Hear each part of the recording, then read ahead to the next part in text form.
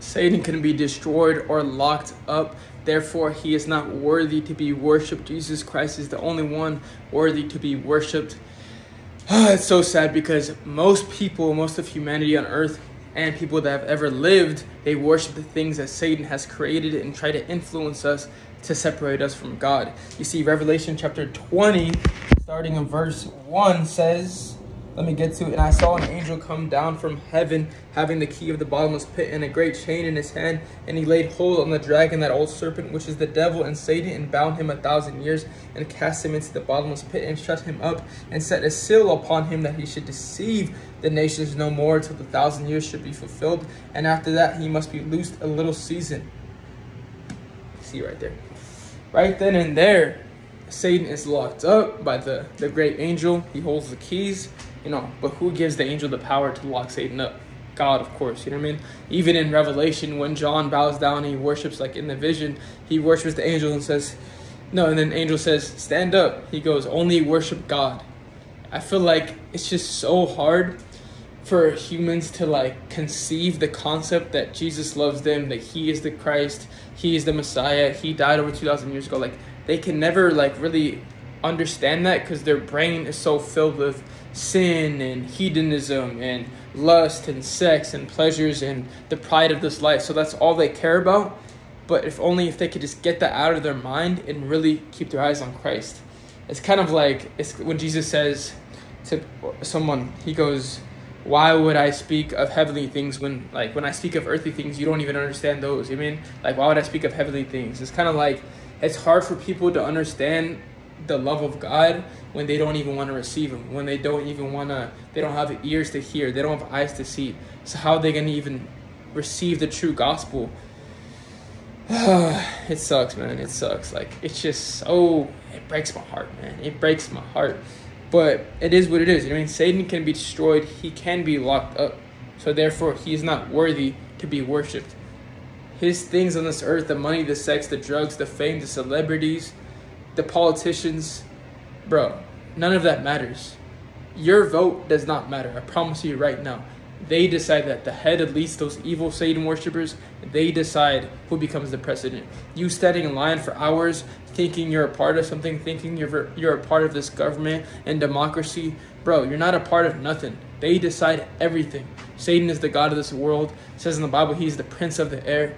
You literally even GSP, who was a very famous UFC fighter, one of the best ever, he was describing on a Joe Rogan podcast how his effect on the universe is so small that like one of his favorite things he would do the day before his fight or I think the day of his fight, he would drive through Vegas and he would just look at normal people, like people at the bank, people just wherever. And he's like, I realize the effect I have on this world and in the universe is so small, it's like not even funny.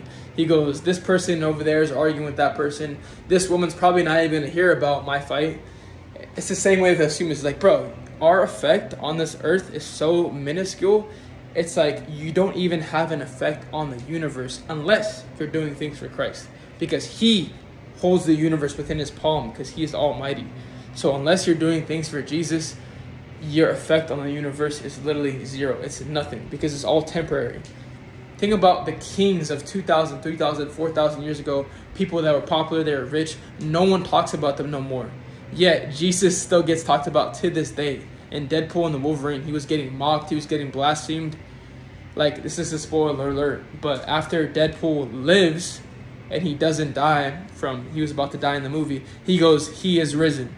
Who is he describing? He's describing Jesus, you know, when he rises from the dead. So it's like, even to this day, Jesus gets brought up in media and movies in the Olympics, bro. In the Olympics, they just made fun of the Passover. Like, how many more times does Satan have to describe and make fun of Jesus in the Bible and Christianity for you to get it into your head that he is real and he actually is the God of this earth and none of these earthly things matter? That's why celebrities kill themselves, millionaires kill themselves, billionaires kill themselves. That every celebrity you can interview, you can find countless interviews. Oh, well, it's not that fun. It's empty. It's boring. You know, having women, drugs, millions of dollars, all those things I thought was going to make me happy, but it never does.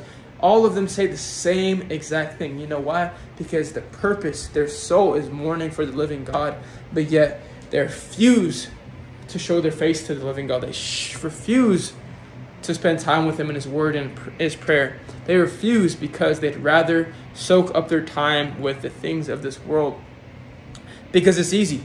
It's really easy, you know what I mean? I used to be such a lazy kid that didn't read his Bible, didn't care, didn't go to the gym, didn't care about life. I would just complain, I would curse God, and I would just say, Why me? Why me? But it's like, bro, it's your fault because you don't want to take the time to go to the gym. You don't want to take the time to read the Bible. You don't ask God for things, and therefore you will not receive. You, you, you, you take accountability for your actions because it is up to us humans. He gives us free will. Someone right now is probably going through some evil, wicked thing right now, but God can't intervene. Intervene because He gives us free will. If He were to intervene every time something evil was about to happen, we would not have free will. So He just has to let it happen for a little season and once the son of perdition, Antichrist, comes through, the Son of Man will come through, and he we will be raptured up, and that's when, woof, man. After the tribulation, then he will kill the Antichrist. Then Christ will rain down and have his reign on the earth for one thousand years. But oh, that's another video. but my point is, Satan can be destroyed and he can be locked up. So do not worship him. Do not worship things in this earth because trust me, Cristiano Ronaldo, can you think can you take your fame and your millions of dollars with you when you die? He would say no. So therefore, worship Jesus. Do not fear a man who can only destroy the body. Fear the living God who can destroy the, both body and the soul in hell. Praise God.